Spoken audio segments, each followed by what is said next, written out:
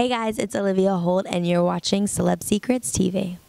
I'm doing so good. Um, I'm happy to be in New York. I'm always in love with New York every time that I'm here. It's cold this time of year, so I'm super excited. I get to like whip out all the uh, all the big coats and the scarves and hats and all that good stuff.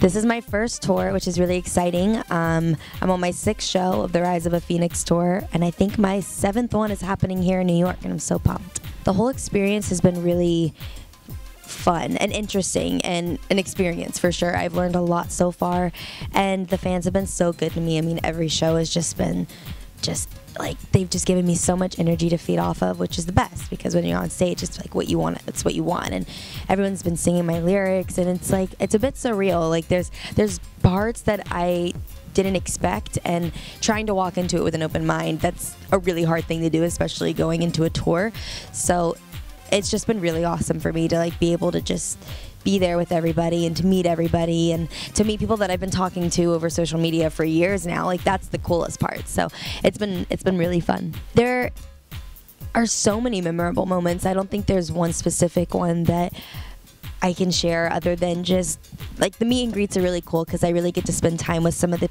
the, the kids and the people who um, who come to the show and that's really awesome just because they are so I, I, like I like when people are vocal about like their the, the, the, way that they feel, their opinions, like their feedback on everything that I do, the projects that I do. If they love them, if they don't love them, I mean that just like that that helps me like guide my career and and and. and to be able to talk with them and to hug them and to laugh with them is really special to me, and I've gotten to do that at every single show. The transition from acting to music has been a bit challenging just because I have found myself really juggling the two, which is probably the most challenging part, is to tape an audition and then right after that go on stage. And it's it's it's it's a lot, but it's actually it's taught me a lot. It's taught me how to manage my time, organize my time, and to appreciate every opportunity that I get when it comes to both music and acting. And to be able to um, do both is is is a dream come true. And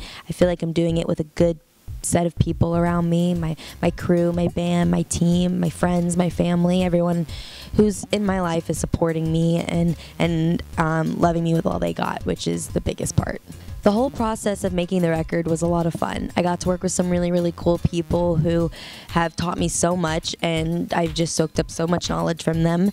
And um, it's been it's it's been a bit of a process and a bit of experimental process too because I've gotten the chance to really figure out what kind of record I want to make and lyrically where I want to go, what stories what stories I want to share and um, all of that's been a really good time. And i'm like it's all nostalgic now. Like i'm going back on like thinking about like the past year and a half two years of what it's been like to be able to to do something that i've been dreaming of since i was a kid. And um, the whole process as a whole has been really good for me and has really helped me grow as an individual.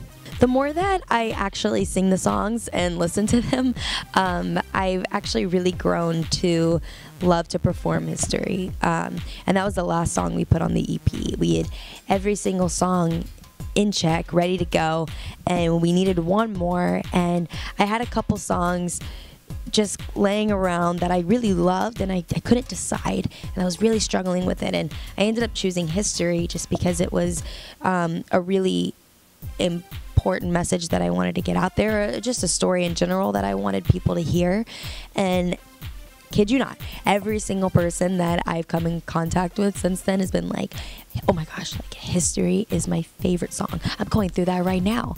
And it's crazy because the more that like I hear people say that, the more that I'm like, wow, like I love that this song is actually touching people in the way that I wanted it to. So um, history would probably be my favorite.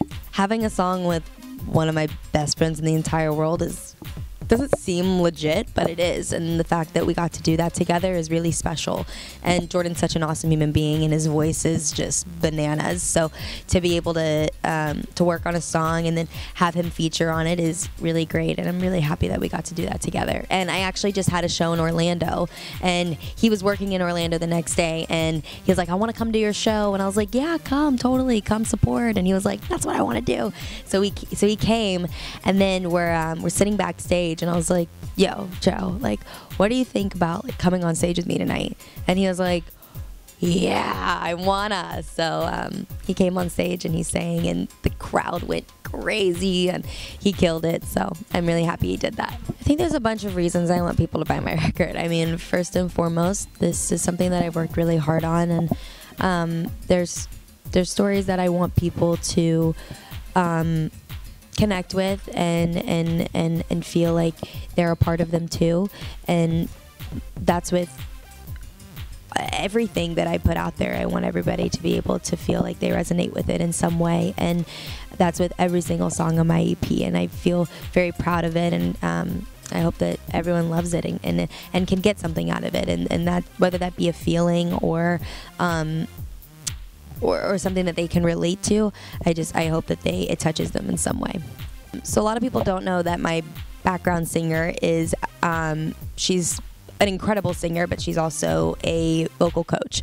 So we'll get together before a show and she'll basically teach me all of her warm ups that she does with her students, and um, and we have a really fun time doing it. Sometimes we'll um, get on Snapchat and we'll we'll get the little deer filter that changes your voice to like the really high pitched squeaky one, and we'll we'll mess around with that while we're doing our warm ups just to make it different and fun every time. Um, but it's before every show we get together and we do our vocal warm ups, and then the band and I get together right after that, and we get a little powwow. We put our hands in, and and then we go on stage, and it's a and it's always a good show after that.